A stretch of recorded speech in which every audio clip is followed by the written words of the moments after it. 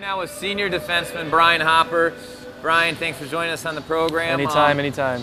First off, I, basically what we're talking about here today is uh, this is your fourth year in the ACHA Division One hockey.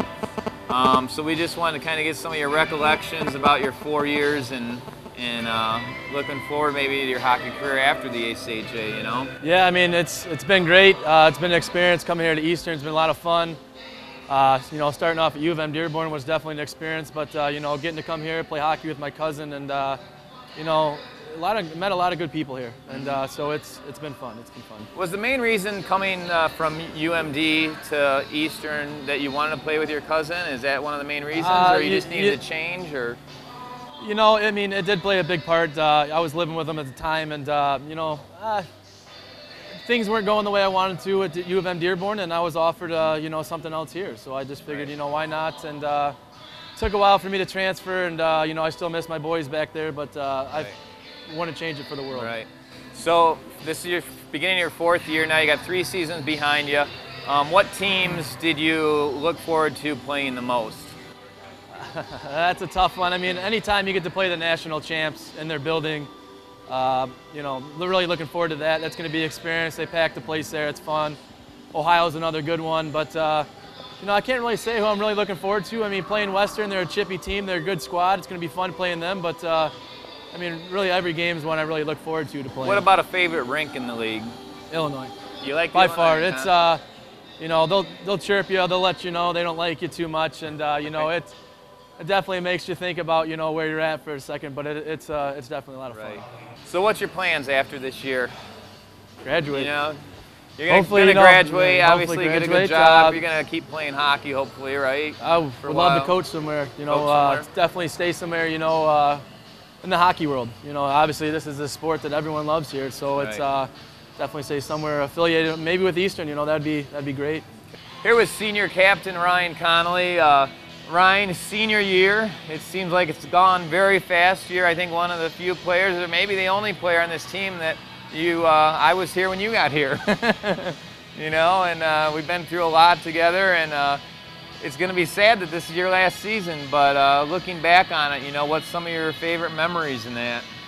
There's been, uh, I mean, you can take any moments from any of those four years. There's a lot of ups and and there's a lot of downs. You know, we've been through a lot together. Yep. Um, know, one of the things, you know, I'd like to, my favorite moments is just being with the guys. I mean, you can't beat playing with 25 guys all year long. I mean, we become a family. You know, from where you start, when you start in August to when you finish in February, March, you know, um, it's it's an experience you're going to take with you. It's friendships you're going to take on for the next for the rest of your life. Um, so you know, I guess my experience here has been meeting the friends I've met. You know, guys have already graduated. This year, being a senior, meeting the freshmen and being a leader for those guys. Is there a game that uh, up to this point that you look back on and you just it just always sticks out in your mind when you think of maybe a favorite game or a favorite moment for you? Well, I guess uh, one of the games that always sticks out to me was uh, beating Ohio last year. Um, I didn't beat Ohio my first three seasons, or first two seasons, and uh, so playing Ohio last year in our home rink and beating them, um, that was a big win. Um, just because they're a big rival, and uh, it's always a good game, so it was nice to finally beat Ohio, and hopefully Right. we can follow up with that this year. Do you remember your first goal at Eastern? Yeah, I do actually. It was uh, the first game I played in. Um, it was against Davenport. It was uh, my freshman year. Um, so yeah, that was my first goal, and I think it was also in the first period. So it was nice to get out of the way right away. Right. Any favorite rinks in the ACHA you love to go to? Well, you know, as most guys will say, you like going to Ohio, you like going to Illinois. Those are great rinks to play in. But I, personally, I like playing U of M Dearborn. Um, it's a big rival. Um, it seems like we pack the rink here and there for the split for that weekend. So I really enjoy playing in those games. Yep. So uh, what do you do after graduation next spring? hopefully find a job and uh, Yeah. you know move on and uh, put the hockey in the past and get a job and go from there. Yeah. And and as far as hockey though, I, I can't see you ever getting out of hockey. You know. And, and you do coach hockey now on the side, right? Yeah, I, uh, right now I coach a JV team uh, out in Dexter with uh, another Eastern alumni player, and um, coach out there, and of course, you know, I I enjoy coaching, and I will probably be doing that the rest of my life, Yeah. or hope to at least. Well, I, I think you might too. Yeah. So, here with Joachim Nilsson. Uh, Joachim, we're doing a feature on seniors Okay. of the uh, of the team. Obviously, Alright. this is your fourth year uh, in the ACHA. Yep. Your first year, I think, was spent at Robert Morris, right? Oh right? no, Davenport. Oh, Davenport. Uh, I'm yeah, okay. which was D2, so uh, up in Grand Rapids there for a while. Okay.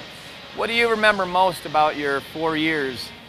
Um, Uh, one at Davenport, three now, or going on the third year? You're Um, the three years here, I've just loved uh, meeting all new people, and uh, you know, it's it's been a lot of fun. Just, the plus is playing hockey, and Is there a uh, favorite team that you always look Uh, forward to playing? oh yeah, it's uh, going into Illinois is always fun, and uh, Ohio, the uh, the big teams there, they got a good crowd, and uh, and uh, it always gets physical. So Yeah. um, What's your most memorable game moment with the Eastern? I think it was uh, last year. We uh, we beat Ohio here at the Ice Cube, and uh, actually had a goal that game. And, uh, Any favorite rinks that you love just love to play at? Can't wait till you get there. Uh, you know, I, I don't want to say Illinois, but I like their fans because they chirp you. Um, um, but I don't really like their ice sheet. You know, it's a it's a weird size they got over there. It's not really um, NHL size or anything. I don't know. They got their own Right. their own size of a rink over there. So. Right. So, so what are, what are your plans once you graduate in the spring and that? Uh, hopefully to find a job somewhere. Um, Yeah. I'm trying to get into some with international business. Um, maybe hopefully in Europe somewhere. Um, if I can uh, get a hookup from uh, my dad or something. Right. Something like that. You're actually here on a green card, right? Yep. Yep. Yep. What exa- does that allow you to stay here for only a certain amount of years, or? No, that's uh, you just got to keep getting it renewed. Uh-huh. Um, but I also want to try to get dual citizenship uh, one day. So hopefully Yeah. uh, So, that'll help me out. is your long-term goal to go back to Sweden? Yeah, you know, either that or travel with business some, somewhere. I mean, Yeah. I'm not really set on a place yet, but Yeah. uh, it'd be nice to go back for a little while. It's been uh, it's been a couple years since I've been back there, and uh, Yeah. so The tough games just keep coming, and this weekend's ACHA Showcase is a prime example. The ACHA Showcase starts out at 8 p.m. on Friday against the West Chester Golden Rams. The Golden Rams had a 27 8 2 record last season and finished 10th in the ACHA Division I National Tournament. They are ranked 10th in the ACHA preseason poll. Eastern will be their third game this season, and they bring a lot of firepower to the contest. Number 8, Jim Gehring, led the team in points last season with 104.